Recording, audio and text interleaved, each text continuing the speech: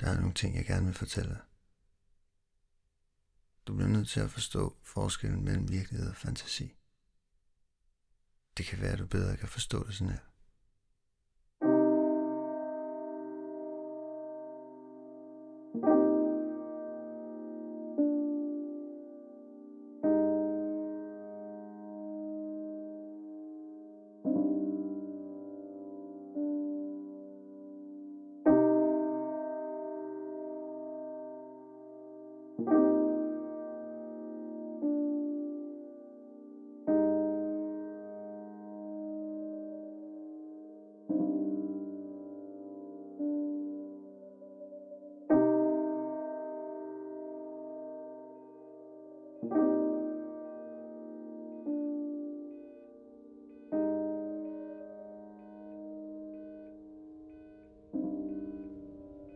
Da jeg var dreng, var jeg meget følsom.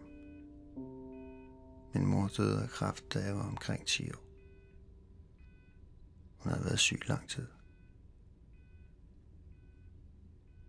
Da jeg var alene, tænkte jeg meget på min mor. Jeg var sikker på, at hun ikke var død af naturlige årsager. Jeg vidste også, at jeg skulle dø. Ligesom hende. Jeg vidste også, at de var efter mig.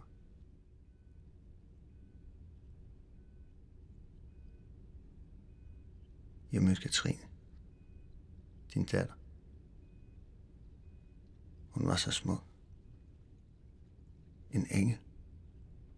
Hun virkede uvirkelig. Jeg forelskede mig i hende. Hun forelskede sig i mig. De blev ved med at råbe af mig. Men jeg prøvede ikke at lytte. De sagde, Anders, vi skal nok finde dig. Vi skal lade dig lede, ligesom din mor. De ville tage Katrine fra mig. På det tidspunkt snakkede jeg tit med Gud. Jeg fortalte ham mange ting. Jeg spurgte ham, hvem der ville slå mig ihjel. Men han ville ikke svare mig på det spørgsmål. Der fandt jeg ud af, at det var ikke Gud, jeg talte med. Men en, som havde forklædt sig som ham.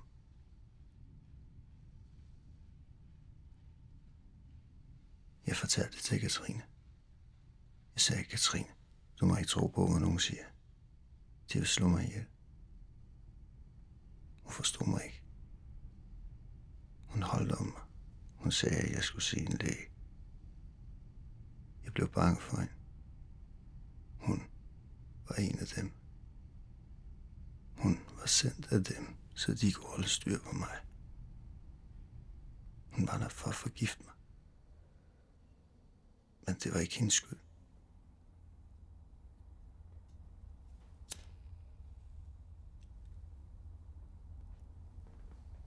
Jeg blev hos hende. Jeg blev hos hende, så jeg kunne bevise for hende, at jeg virkelig elskede hende. Jeg græd meget på det tidspunkt. Hele tiden. Katrine spurgte mig til om, hvad hun kunne gøre.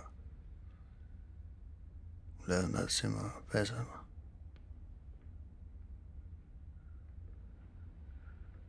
Men jeg vidste, at hun puttede gift i maden.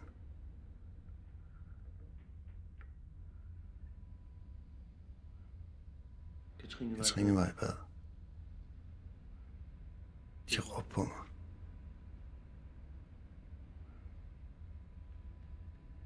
Jeg ikke. vil ikke. Jeg kunne ikke mere. Jeg kunne bare ikke mere. Står der, jeg ville bare ikke have, at de skulle lade mig få mig. få mig. Så Jeg hentede en kniv ud i skuffen. Sad med den længe. Sad med den længe. Jeg satte den mod min Holdt den hals. mod min hals.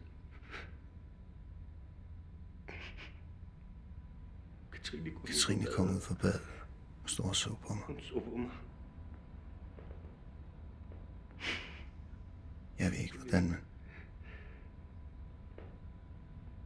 Det er jo ikke, men... jeg slog hende ihjel. Forsvandt fra. Kom. Jeg sagde, hvorfor bliver din hud så kold? Hvor tager det derhen? Du må ikke gå fra mig, min elsker. Du må ikke gå fra mig, min elskede.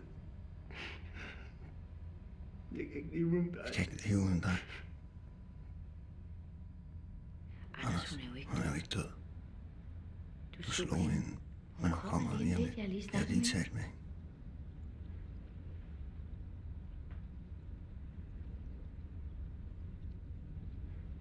Så kom jeg her på hospitalet. Her drømte jeg om hende.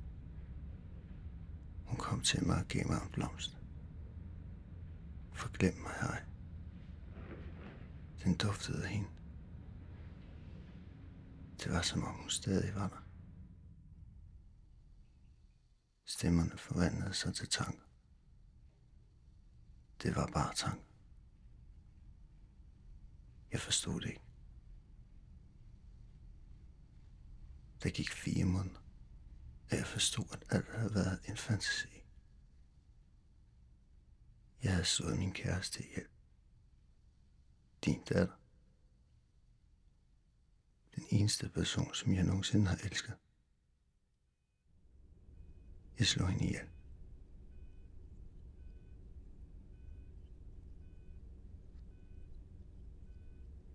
Jeg hører stadig en stemme.